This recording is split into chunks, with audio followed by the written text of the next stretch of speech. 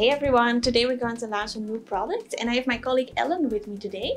And Ellen, she brought a PlayStation 4 and also a Blu-ray player and a, a PC, a Zotac. Ellen, what are you going to do with that? Yes, hello Ines. Uh, you forgot to mention the most important device in the setup, Sorry, which is a VS381B. Uh, this is a true 4K HDMI switch, which find here in the center.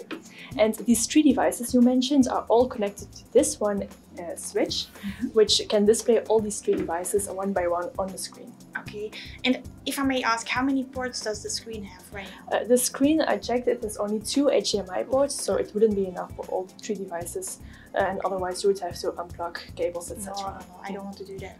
um, so I can use this for sure at home. Uh, I connect my Nintendo or my PlayStation or whatever, but where else can I use this one? Well, actually, you can use this device in any setup which uh, needs more uh, HDMI ports than the screen allows. Uh, so you can, for example, use it in a meeting room, in a classroom, or also in your home cinema. Okay, uh, classroom, that's a nice idea. Um, so what happens exactly if I use first my PlayStation 4 and afterwards I want to see a video or a DVD or a Blu-ray player? What is going to do with the Switch?